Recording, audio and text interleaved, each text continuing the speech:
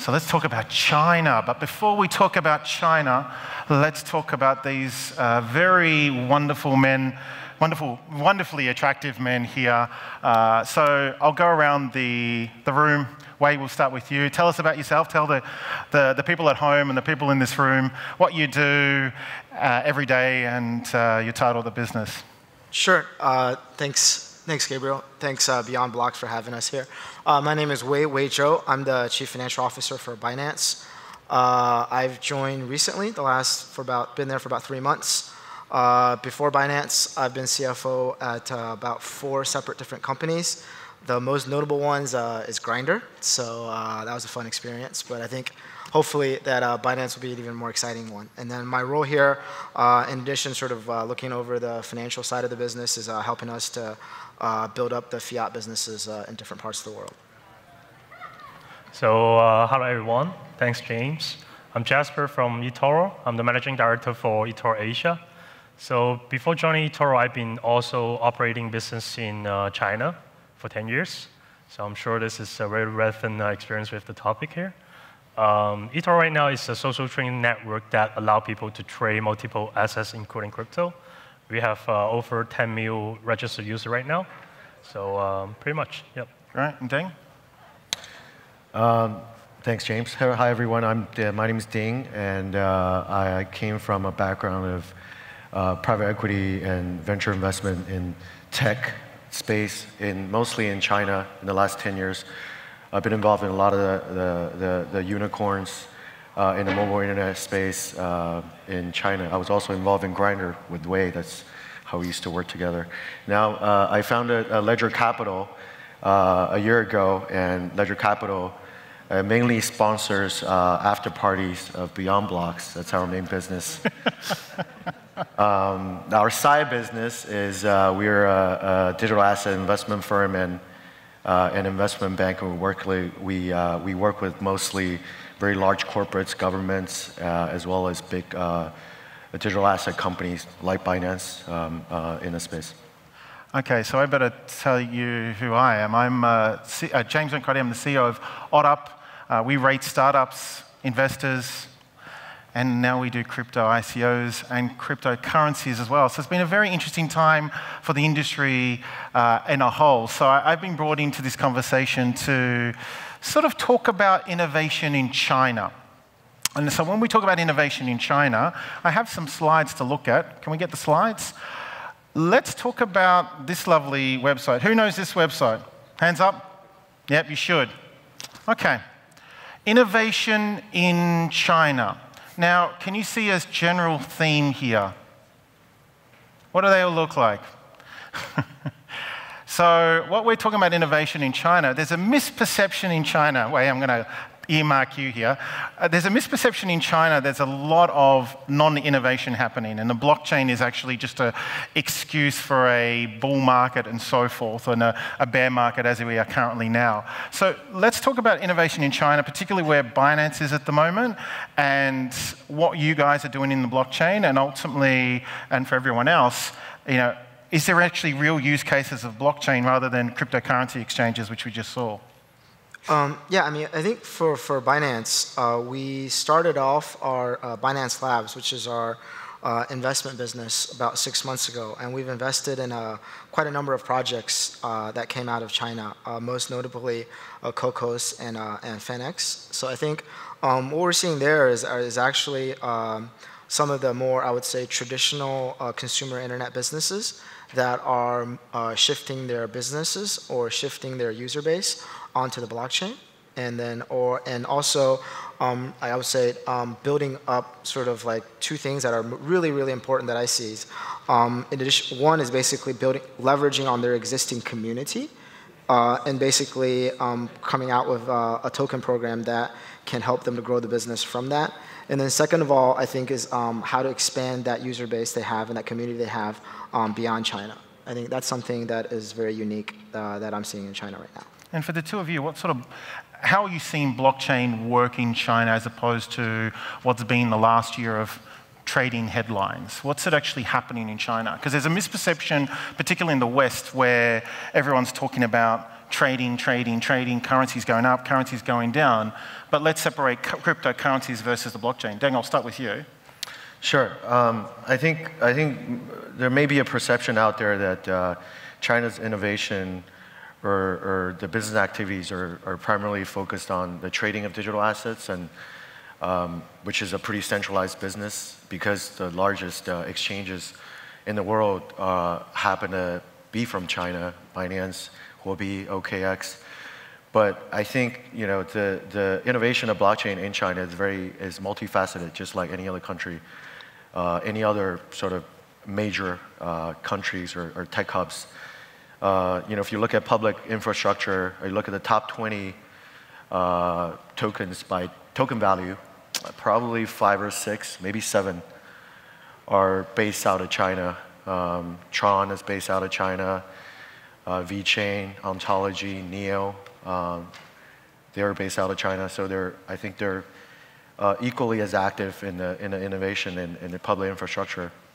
And on the uh, uh, application side, I think you know China especially is a um, uh, Chinese developers are, are, are, known to be uh, very fast followers. You know, in even back in the traditional internet days, and I think they've continued to uh, use that to their advantage in the, in the, in the DApp uh, application uh, space. Uh, lastly, uh, on the government side, there's Chinese government, both central and municipal government, actually are some of the most uh, advanced out of all the countries in the world in research and development into the blockchain technology, as well as uh, setting aside funds to uh, support private enterprises uh, into both research and application of blockchain te technology.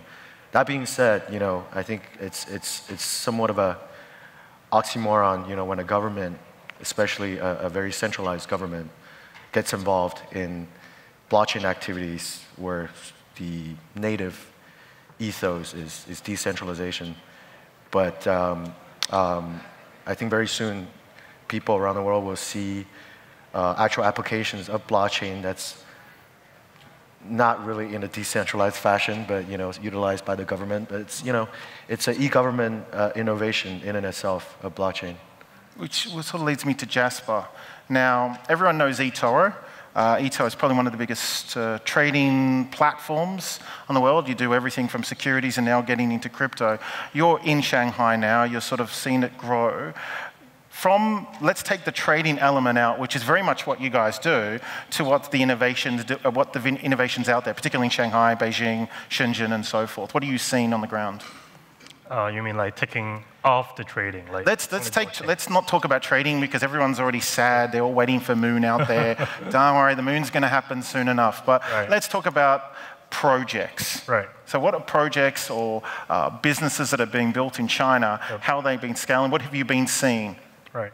So so I actually came back from a forum in Xichang, also talking about blockchain uh, technology and innovation. Right.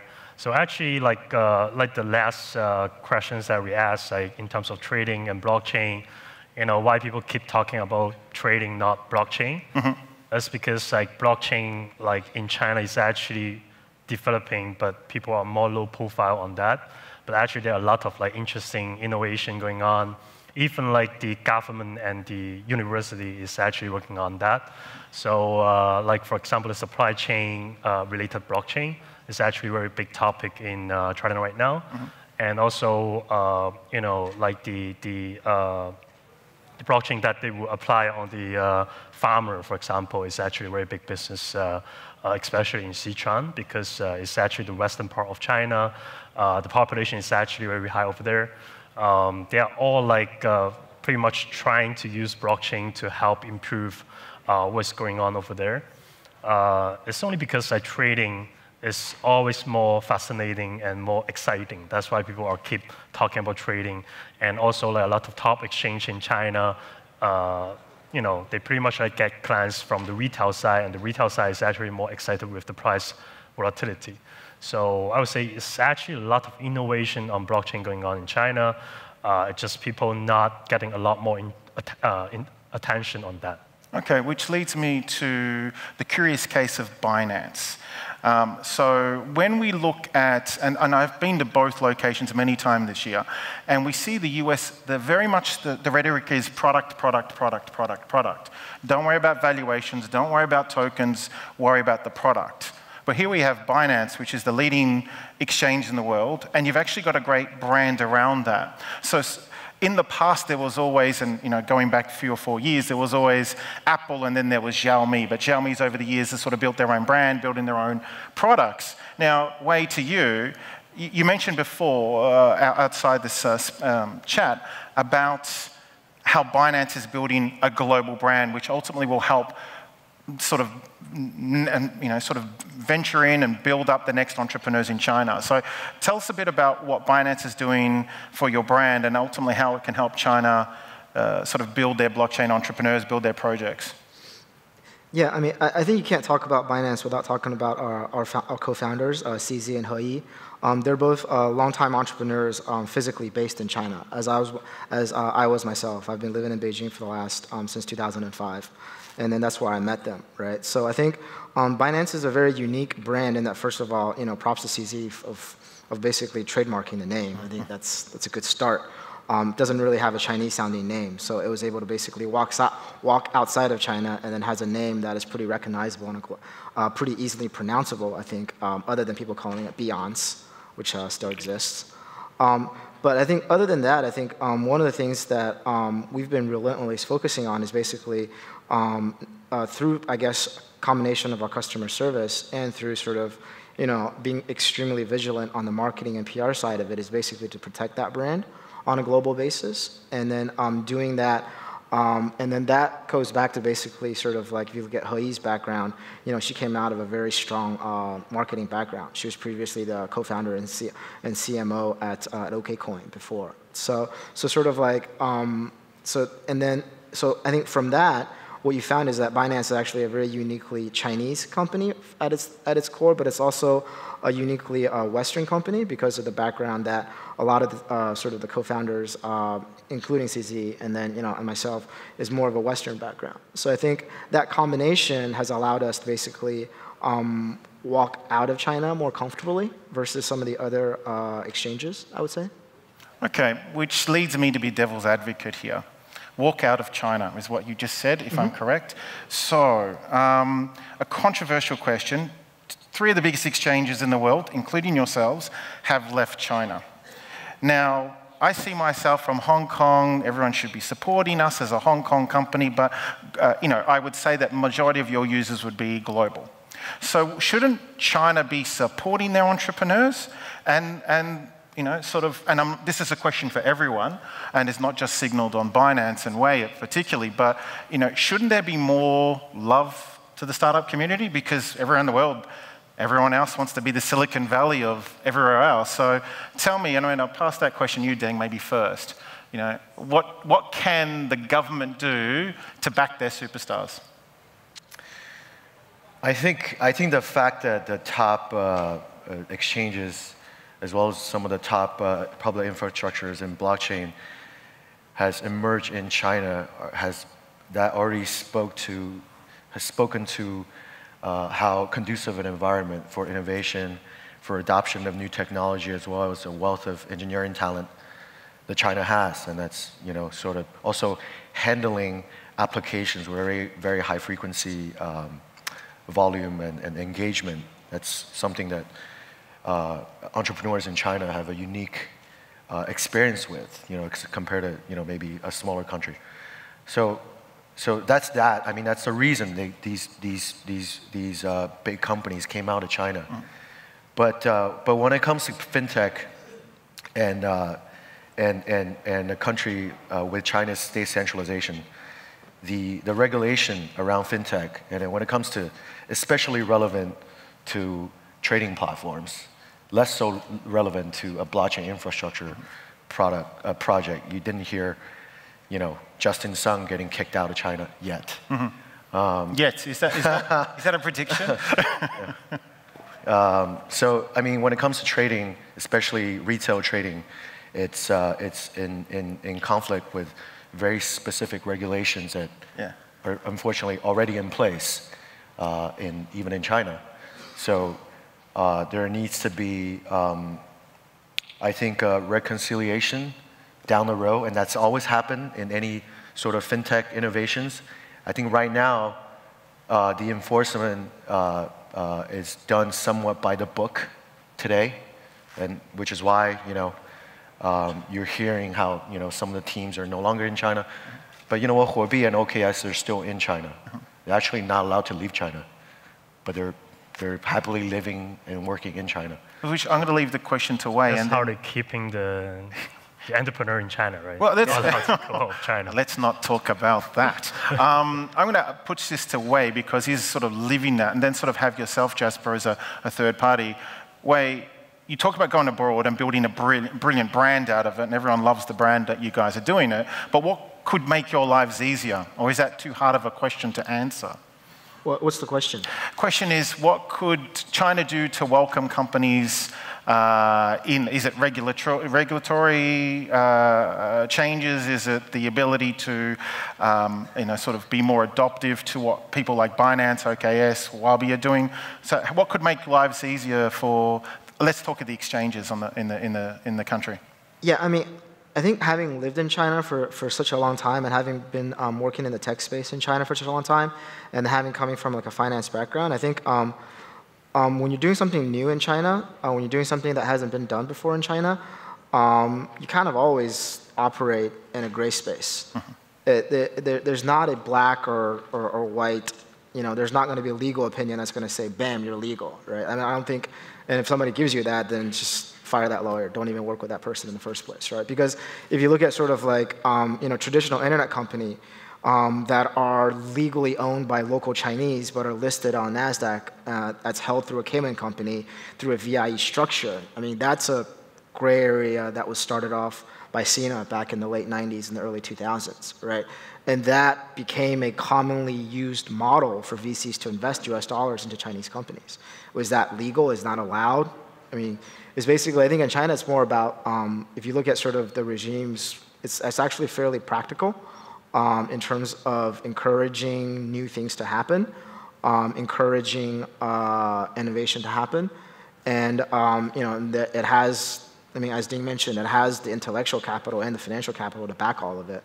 So I think it's silly for for for for for the, uh, for the government or, or for, for them to not to follow that sort of that type of innovation going forward. Um, it just so happens that the business that we're in is in a in a bigger area, not just in China, but I think around the world.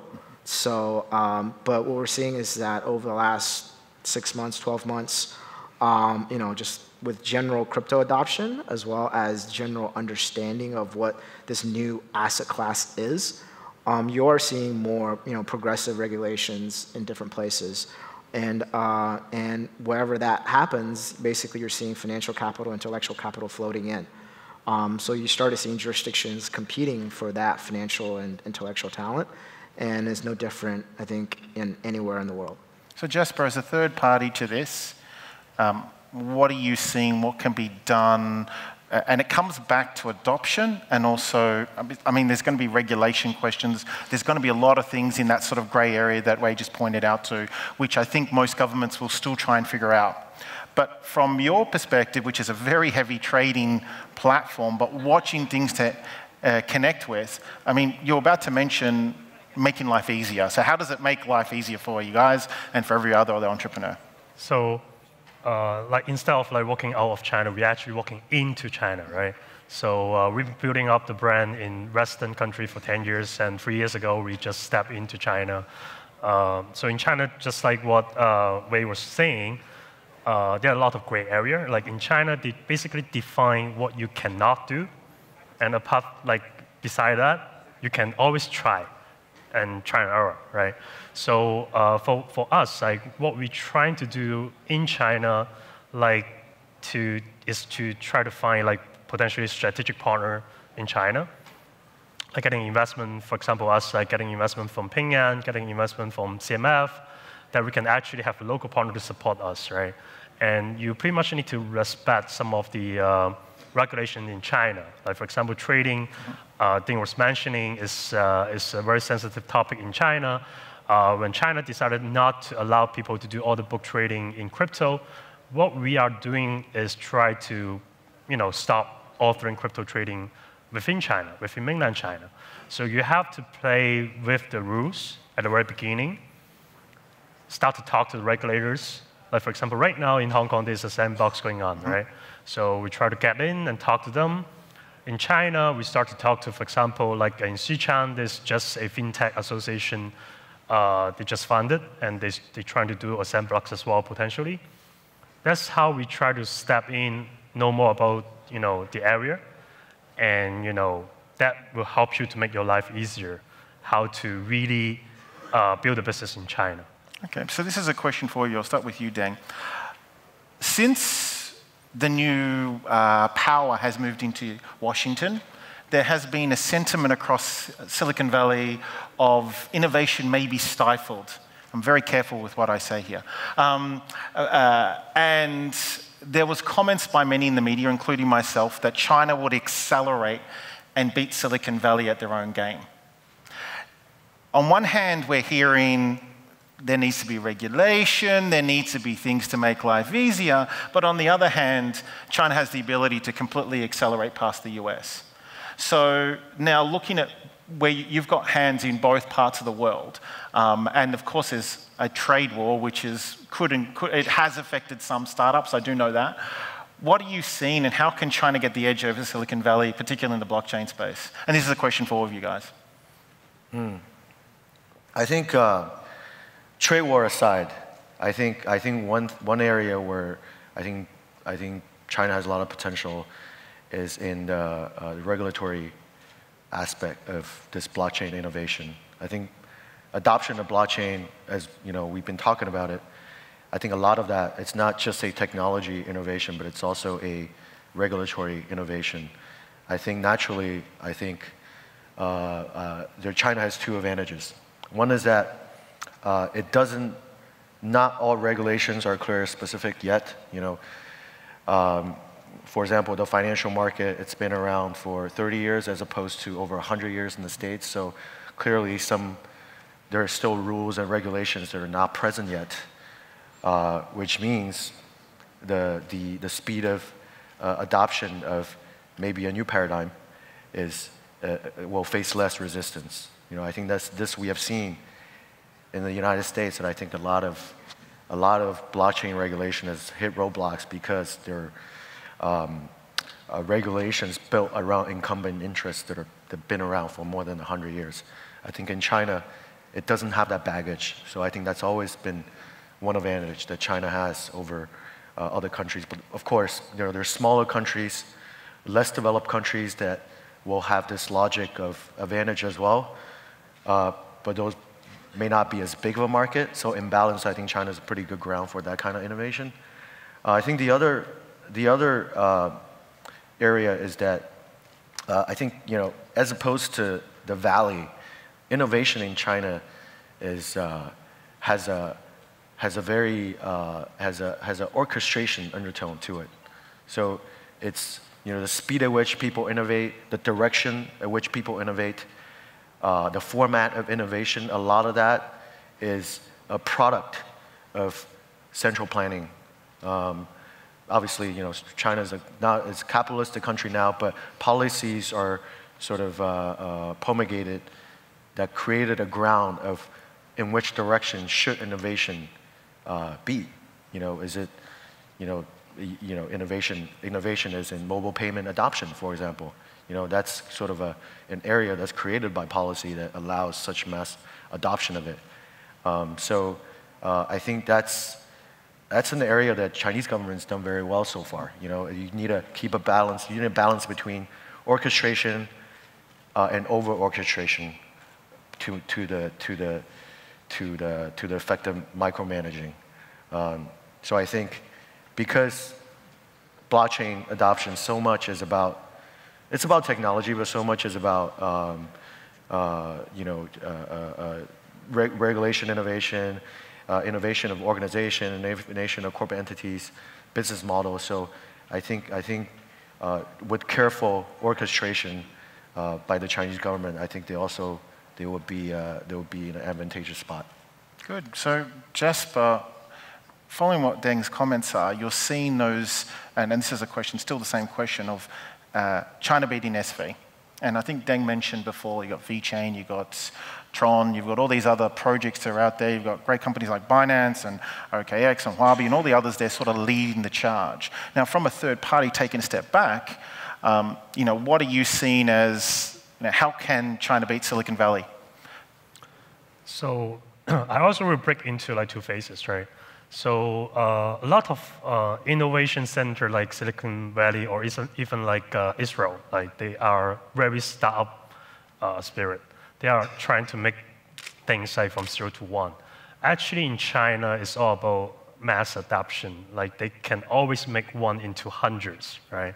So in the in the past like years, you know, there are a lot of innovation when they go to China. They try to evolve themselves and make it like even better to be adopted by the mass uh, audience.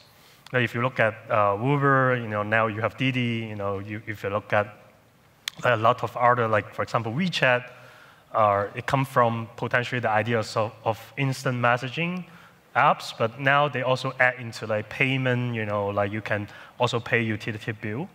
So they actually try to make one into 100. Uh, and the second phase is what you are asking right now, like uh, how we can also become uh, like making things also from zero to one within China and then one to hundreds, right? And I can actually see that happening, not necessarily like uh, uh, not happening, right? So I think definitely blockchain, it will be a very good start for China to be leading because when we talk about blockchain, when we talk about crypto, it's all about mass adoption. And China has the spirit in the past. Like for example, uh, when we talk about digital payment, we have Alipay right now. Like day to day, when I when I was in mainland China, I don't need to bring cash anymore, right?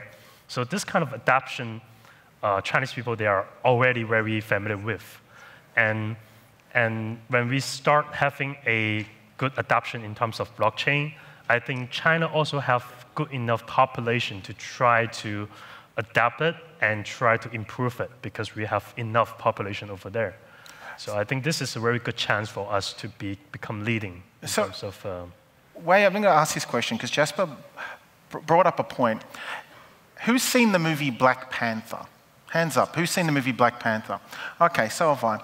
Now, did you notice in Black Panther, vibranium, or whatever that material was, solved every crisis. When I talk to entrepreneurs around here, blockchain's going to solve the problem. Hey, you know what? I'm dying, I've lost my arm, I've lost my leg, let's put some blockchain on and I'll survive. So I think this has been a real bad.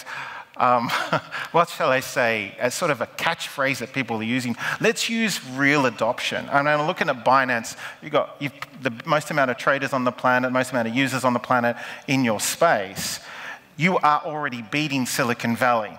Blockchain is just one of the products that, you're, that ultimately you're selling and making money from and growing from it. So if we look at, let's not take blockchain as the fix of everything, let's just think of it as a business 101.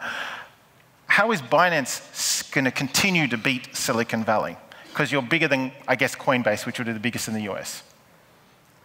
Um, I'll, I'll, I'll answer, I think, I'll probably answer two questions. One is how Binance is going to beat Silicon Valley, and the other question is how is China going to fight it out with Silicon Valley? I actually don't think that war is going to take place in China. I don't think that war is going to take place in Silicon Valley. That war is going to take place in, all over the world. Like for example, like um, we just launched our fiat exchange in Uganda with plans to basically build up a giant fiat to crypto business to cover the continent of Africa, about two billion people, right? Um, I don't think Silicon Valley is there, right? I think it's basically um, we're, we're, we're about to launch a fiat exchange in Singapore, right? I don't think sort of like Silicon Valley is there. I think it's, I think like what you're seeing about China is actually, you're actually seeing, it's, it, let's take the country out of it and just focus on the people, which are basically Chinese entrepreneurs, right? I think Chinese entrepreneurs, um, what we have seen over the last two years is um, have had both uh, understanding of global culture, of global language, and have had the freedom of movement that wasn't, didn't exist to the prior generation of entrepreneurs that came out of China. And I think that's where the real war is going to take place. It's not going to take place you know, in Beijing or in Silicon Valley. I actually think it's going to be the group of people who are, who are global nomads who are basically willing to live it and work it into different and bring that innovation, that, that whatever it is, to other parts of the world. Because, um, because you know, that's what I think, you know, or what Binance sort of think the, the, the sort of the blockchain ecosystem or the Binance ecosystem that we're build, trying to build is. It's a global ecosystem. This is a really good answer. So the short answer is, is it's world war blockchain. If we're going to use the call. Can we, call, can we coin that term? Last question before we open up four questions from the audience is, now last year China investors fueled a huge boom, call it a casino, whatever you want to call it. Um, many people lost money. A lot of people are complaining. And so, uh, similar to the startup boom we've seen over the years, when people are making money, everyone's supportive. They think it's the next sliced bread, less milk, what have you. So, now all of the three of you are in this space. So, I guess this is more interesting. Now, what, what will this space look like in the next six to 12 months when there's less conversations about price and, and mooning and more about the technology and the product around it. So Ding, I'll start with you. So let's look at the next, and put China in there as well. What do you see in for the, the market, at least in the next 12 months? Mm-hmm.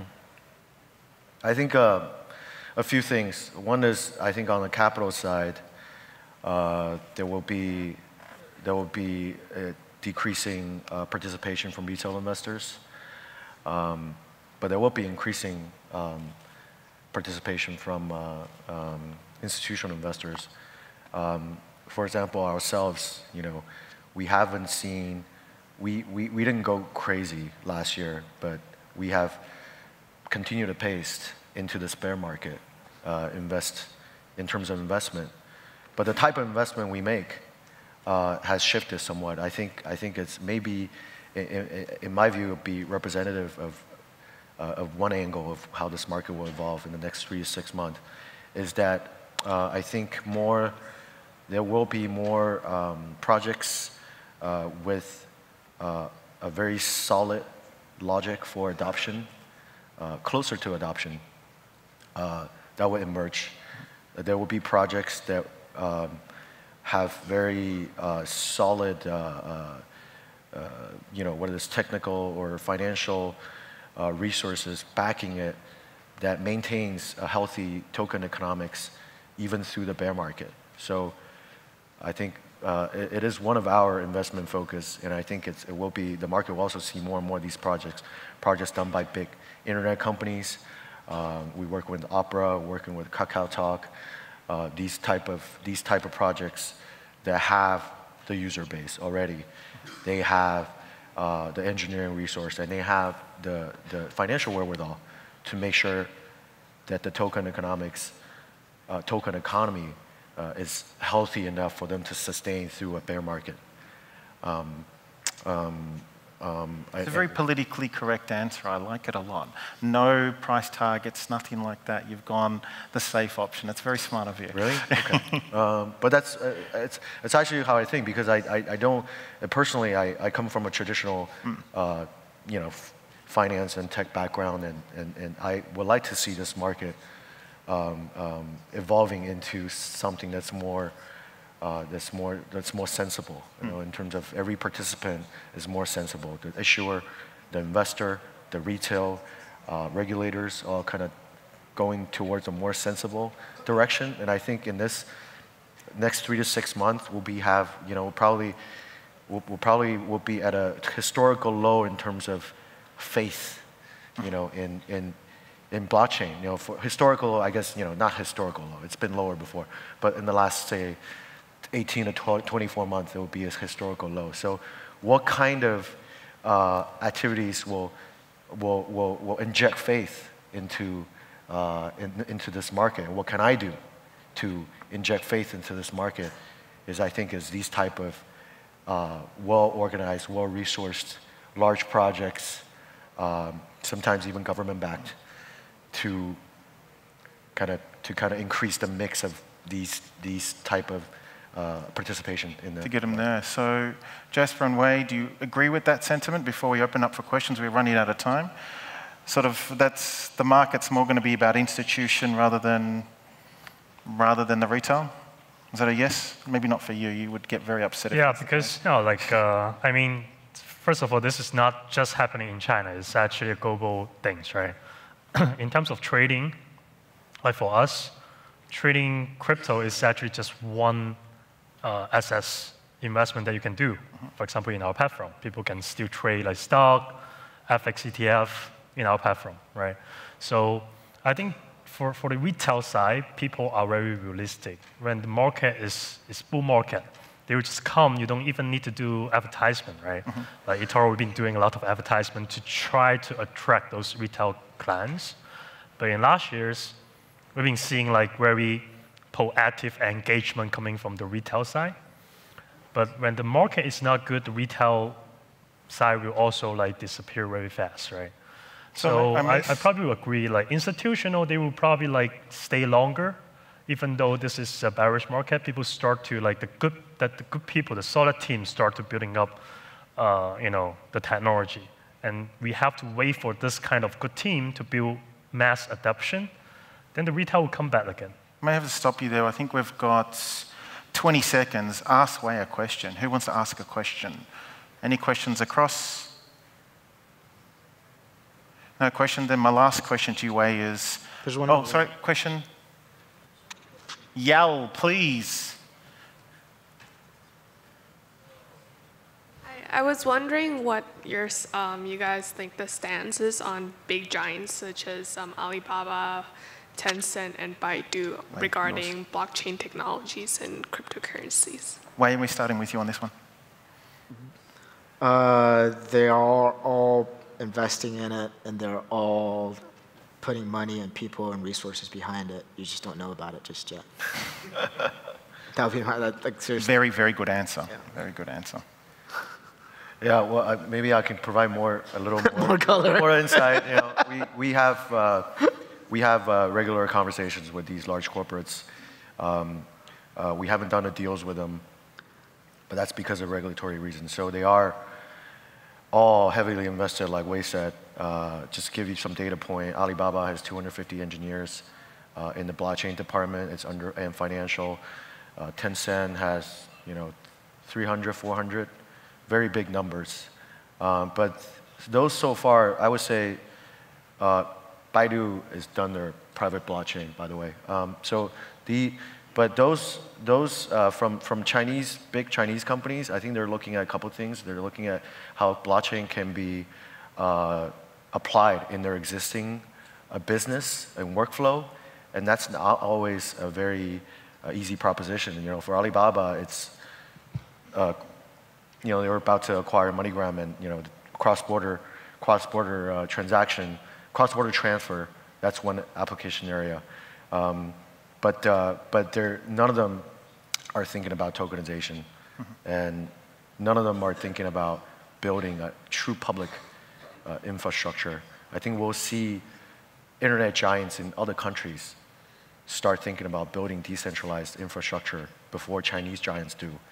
Because Chinese giants, they don't have to. They're dominating a big enough market. They're not under any existential threat by blockchain today. So ask this question here. I think we have yes. one more. Uh, my name is uh, Khalid Dianov. I'm from BigX Digital Exchange. My question is, uh, with uh, hundreds of uh, digital exchanges uh, in the space these days, when do you think we'll see consolidation in the sector? exchanges buying each other, mergers and acquisitions. Any thought on that? I think you can answer this question. The question was, when are we going to see consolidation in the market, particularly in the exchange space? Uh, Is it happening now? Are you going to tell us you're about to buy someone? no, I mean, I, I think um, exchange as a business model, I think, is um, as long as it remains uh, viable, I think there's no reason for you to exit the business. But I think, um, um I think with sort of like, you know, market always corrects one way or another, like overcorrects the limit one way or another. So I think um, the next six months is going to be very interesting for the exchange world. I definitely would say yes. I, there will be a lot of merge and acquisition. So is eToro about to buy someone? I cannot comment on that. uh, but I would say like probably 80% of the exchange is going to be very difficult for the upcoming six months. Mm. And we open for like potential acquisition for sure, like uh, in terms of good team, talents, market share. Um, and actually, we are building up our own exchange and going to be launched next year. Mm-hmm. Um, so yeah, I, I, I, do think that will be the, uh, the things. Exchange, you guys should talk. Maybe you have some synergies. And on that note, um, I, it's commercial synergies, who knows? Maybe you can support more CNBC shows. We never know. So, um, guys, on that note, uh, enough humor, enough insights. Thanks. Please thank every, my, my wonderful esteemed panelists here. And uh, thank you for joining this conversation.